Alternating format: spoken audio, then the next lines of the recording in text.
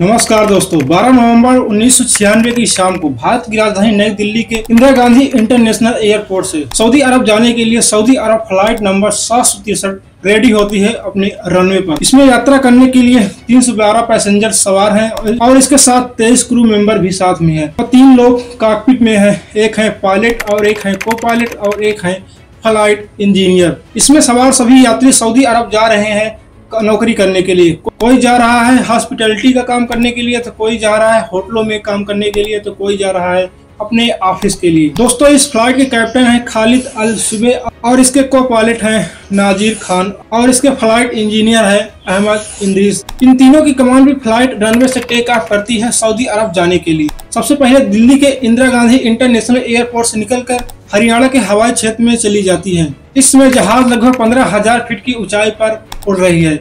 इस समय जहाज़ जो पहुँची है, वो है चरखी दादरी नामक स्थान पर, जो हरियाणा का एक एरिया है, क्षेत्र है। दोस्तों, इस चरखी दादी क्षेत्र में लोग अपने खेतों में काम कर रहे हैं। कुछ लोग ऑफ़िस जा रहे हैं तो कुछ लोग मकान पे टहल रहे हैं, कुछ लोग आसमान में पतंग भी उड़ा रहे हैं। क्योंकि गर्मी का सीज़न है तो कोई खेल रहे हैं मैदान में तो कोई पार्क में बैठा है तो कोई अपने छत पर टहल रहा है। लोग अचानक से आसमान में तेज़ी से चमक देखते हैं और इसके साथ गर्ज भी तेज़ी से होती है। लोग इसको देखकर चौक जाते हैं कि दिन में तारे कैसे दिख गए। लेकिन दोस्तों, दो चार मिनट बाद जब आसमान से कुछ गिरता हुआ चीज़ नीचे जाता है तो लोग समझते हैं आखिर एक क्या है? कुछ देर बाद समझ में आता है कि तो जहाज़ के टुकड़े गिर रहे हैं, इसके साथ कुछ लोग भी गिर रहे हैं।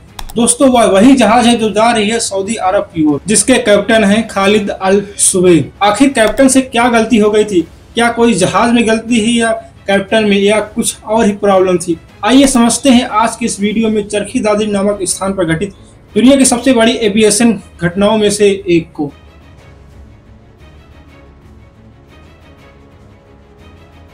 दोस्तों, अगर आप हमारे चैनल पर नए हैं, चैनल को सब्सक्राइब कर लें ताकि आने वाले हमारे सभी वीडियोस आपको प्राप्त हो सके और पिछली वीडियो जो दी गई है यूट्यूब पर, वो भी आपको प्राप्त हो सके ताकि आप उसकी भी जानकारी प्राप्त हो सके।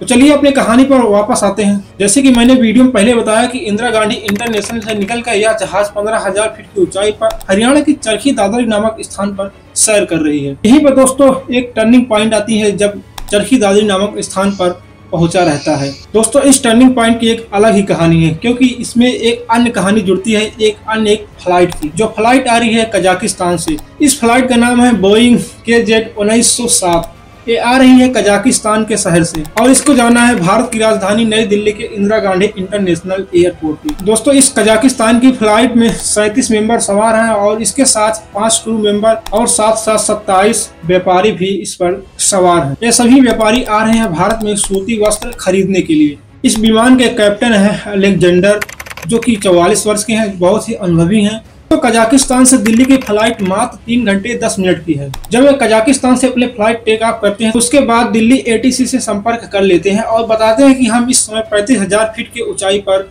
उड़ रहे हैं।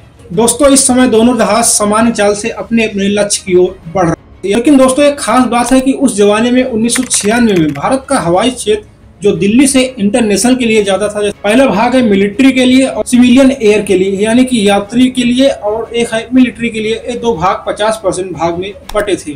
दोस्तों, इसका एक नियम था कि मिलिट्री स्पेस में कोई सिविलियन जहाज़ नहीं जा सकता है और सिविलियन स्पेस में कोई मिलिट्री जहाज़ नहीं जा सकता है बिना किसी के परमिशन से। दोस्तों, इसी के बीच एक पॉइंट पड़ता है, जिसका नाम है लुनका पॉइंट सबसे पहले जो कजाकिस्तान से जहाज़ आ रही है 1907 इसको लुनका पॉइंट पे पहुँचना रहता है।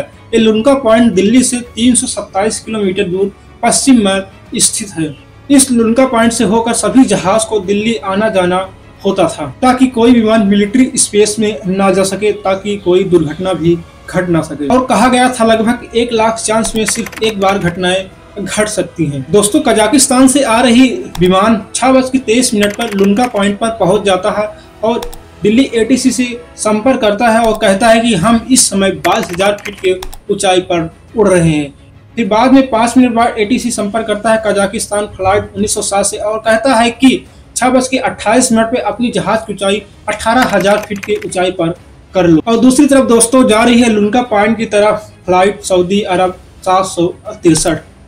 ये भी लुनका पॉइंट पर नहीं पहुँची है, जबकि कजाकिस्तान वाली फ़्लाइट लुनका के पास पहुंचकर और दिल्ली की तरफ़ आगे बढ़ रही है। दोस्तों, लुनका पॉइंट को लेकर एक और नियम हुआ करता था उस समय। जो जहाज़ दिल्ली के लिए आ रहे हैं, उनको सबसे ऊपर रहना होता था और जो जहाज़ दिल्ली से बाहर जा रहे हैं, उनको नीचे होकर जाना होता था। यानी जो जहाज़ आ रहा है, वो सबसे ऊपर रहेगा, जो जहाज़ जा रहा है और नीचे रहेगा। सऊदी अरब के लिए जा रही इस फ़्लाइट में एक क्रू मेंबर रहते हैं, उनका नाम है बीके दत्त। ये कजाकिस्तान से आ रही फ़्लाइट को मैसेज करते हैं रिपोर्ट करते हैं कि अपनी फ़्लाइट को पंद्रह हज़ार फीट की ऊंचाई पर कर लो। और बीके दत्त अपनी फ़्लाइट की ऊंचाई कर लेते हैं, चौदह हज़ार फीट की ऊंचाई तक। लेकिन दोस्तों, सब कुछ इस समय नॉर्मल चल रहा होता है। दोस्तों, यहाँ पर एक प्रॉब्लम आ जाती है कि कजाकिस्तान से आ रही फ़्लाइट में एक गड़बड़ी हो जाती है। वो गड़बड़ी है डिस्प्ले पर। डिस्प्ले पर दिखा रहा था कि ऊंचाई पंद्रह हज़ार फीट पर है। लेकिन कुछ और ही ऊंचाई थी, क्योंकि ऊंचाई लगातार नीचे आ रही थी, चौदह हज़ार फीट की ऊंचाई तक, और डिस्प्ले पर पंद्रह हज़ार फीट की ऊंचाई दिखाई दे रही थी। इसकी वजह से पायलट समझ नहीं पाता है, और दोनों जहाज़ एक दूसरे के सामने आ जाते हैं, और कुछ ही देर में भारी टक्कर हो जाती है, और दोनों जहाज़ के पंख टूट जाते हैं टरबाइन इंजन टूट जाते हैं, और नीचे गिरने लगते हैं। कुछ देर बाद जहाज़ भी नीचे गिरने लगती है, और जहाज़ के चादर फट जाते हैं। नीचे लोग जो खेत में टहर रहे थे, फ़ील्ड में टहर रहे थे, पार्क में बैठे थे वो लोग अचानक से आसमान में देखते हैं, कोई भारी चीज़ चमकता है। और कुछ देर बाद दिखाई देता है, कोई भारी चीज़ नीचे की तरफ़ लगातार तेज़ी से आ रही है। और जब नज़दीक पास पहुँच जाता है, वस्तु देखते हैं और जहाज़ का टुकड़ा आ रहा है, उसके साथ कुछ लोग भी गिर रहे हैं। ये सभी नज़ारा देखकर सभी लोग चौक जाते हैं और कुछ लोग अपने घर से बाहर निकलते हैं। और जहाज़ के टुकड़े जो आसमान से आ रहे हैं तो किसी के छत पर गिरा तो किसी के झोपड़ी पर तो किसी इंसान के खोपड़ी पर गिरे थे।